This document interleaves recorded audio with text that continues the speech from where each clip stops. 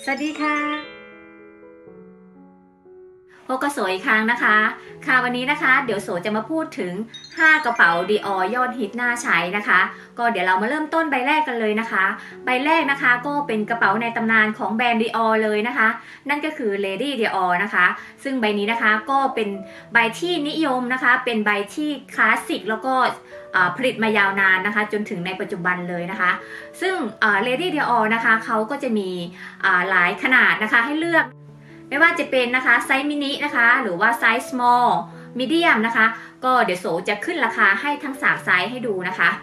วันนี้นะคะโสมีกระเป๋าไซส์มินิมาให้ดูนะคะ ก็อันนี้เป็นไซส์มินินะคะแบบนี้นะคะ ถ้าเป็นไซส์มินิ ถ้าเป็นไซส์มินินะคะ ขนาดของเขาอยู่ที่ 17เซนติเมตรนะคะ หรือประมาณ 7 นิ้วนะคะสลับใบนี้นะคะ ก็แบบว่าน่ารักนะคะ ก็มีหนังนะคะที่ให้เลือกนะคะ รู้สึกว่ามันจะมีหนัง calfskin ด้วยนะคะ แต่ว่าใบนี้นะคะเป็นหนัง lambskin นะคะแบบนี้นะคะ แล้วก็อะไหล่มีให้เลือกทั้ง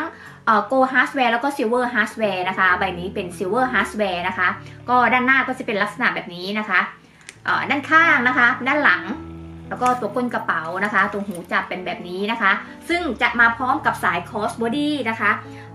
สาย cross body นะคะ เราสามารถเลือกที่จะเป็นสายโซ่ก็ได้นะคะ หรือว่าเป็นสายหนังก็ได้นะคะสำหรับรุ่นนี้นะคะเป็นสายหนังนะคะแบบนี้นะคะ นะคะ ส่วนด้านในนะคะเขาจะมีฝาครอบนะคะ แบบนี้ทำให้เราหยิบของได้ง่ายขึ้นนะคะ ก็จะเปิดออกมาแบบนี้นะคะ ช่องในก็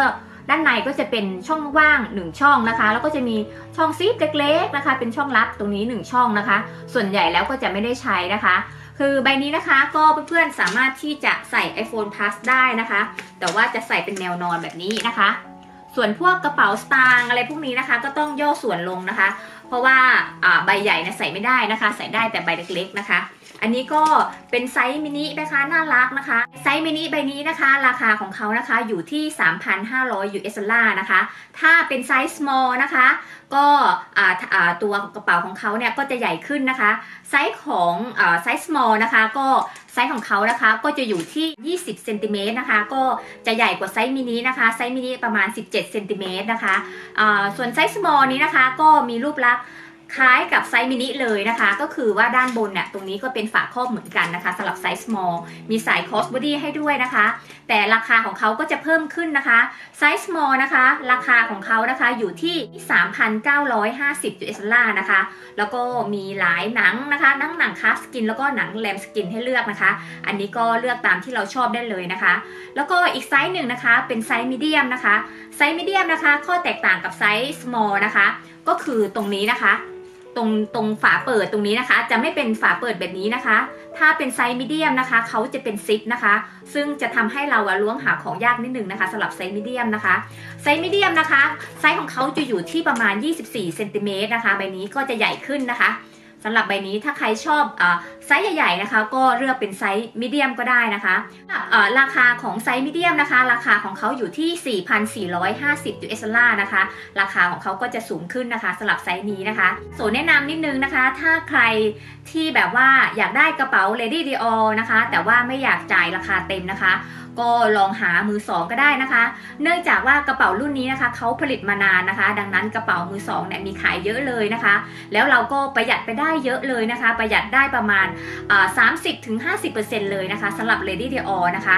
ก็ถ้าไม่อยากราคาเต็มก็ลองไปดูมือสองก็ได้นะคะ คือมือสองแบบสภาพไลท์นิวเนี่ยมีเยอะเลยนะคะ แล้วก็เซฟเงินในกระเป๋าด้วยนะคะสำหรับ ตัว Lady Dior นะคะนะคะใบที่ 2 นะคะที่อยากจะแนะนำนะคะ นั่นก็คือ Toast Bag นะคะเอ่อ Toast Bag ใบนี้นะคะก็คือเพิ่งผลิตมาได้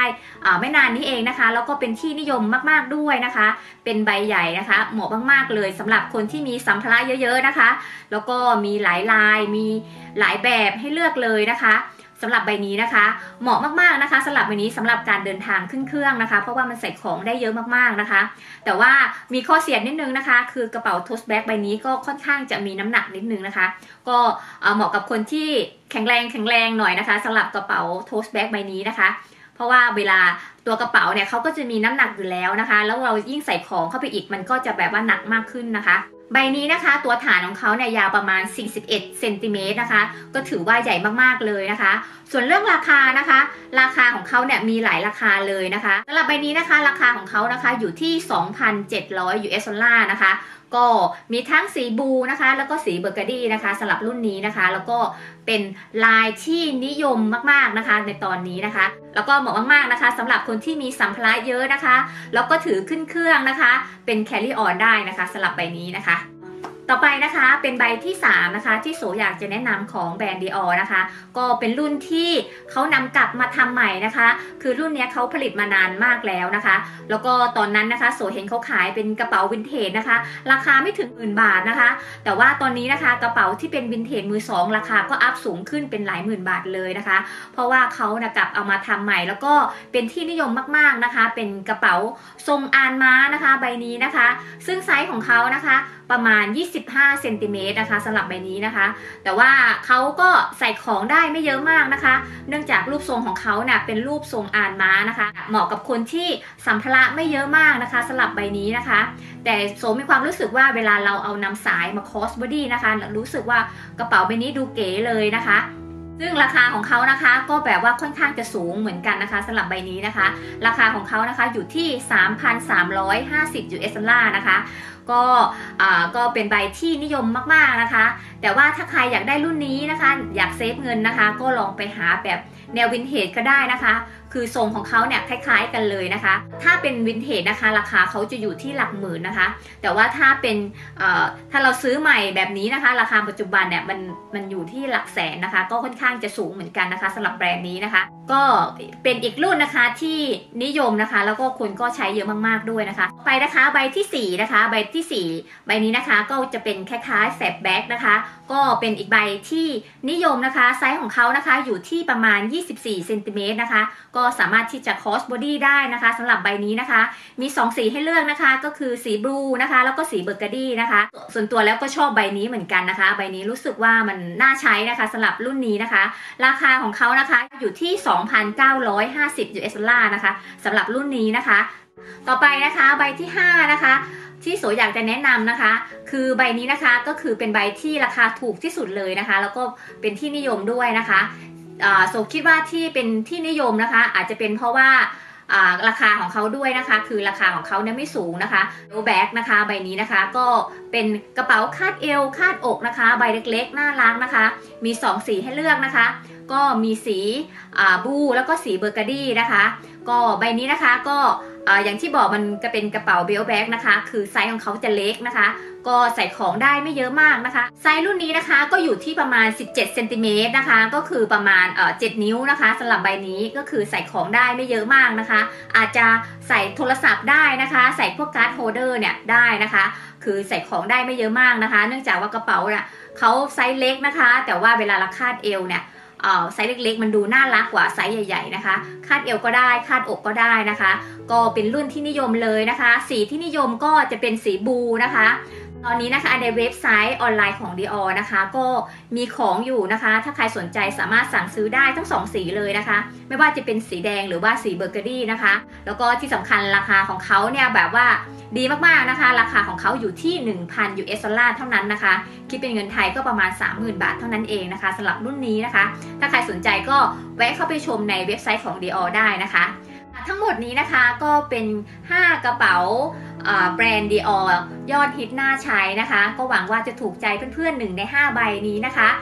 ส่วนตัวโซแล้วนะคะ ก็จะชอบกระเป๋า Lady Dior ไซส์มินินี้มากเลยนะคะ ก็มีแค่ใบเดียวนะคะสำหรับแบรนด์ Dior นะคะ ส่วนเพื่อนๆล่ะคะมีรุ่นไหนครอบครองแล้วบ้างนะคะ สามารถแชร์ประสบการณ์ใต้คอมเมนต์นี้ได้เลยนะคะ แล้วก็ส่วนตัวโสแล้วนะคะ ก็อยากจะได้รุ่นอื่นเหมือนกันนะคะก็กำลังเลงๆอยู่นะคะ ว่าจะเลือกรุ่นไหนดีนะคะ สุดท้ายนะคะ โสก็ขอบคุณเพื่อนๆมากๆเลยนะคะ ที่ติดตามคลิปโสมาตลอดนะคะ ถ้าชอบคลิปนี้นะคะ ก็อย่าลืมนะคะ กด subscribe นะคะ กดไลค์นะคะ กดกระดิ่งนะคะ หรือว่าคอมเมนต์นะคะ พูดคุยใต้คอมเมนต์นี้ได้เลยนะคะสำหรับวันนี้นะคะ โสต้องไปก่อนค่ะ แล้วพบกันใหม่ในคลิปหน้านะคะบ๊ายบาย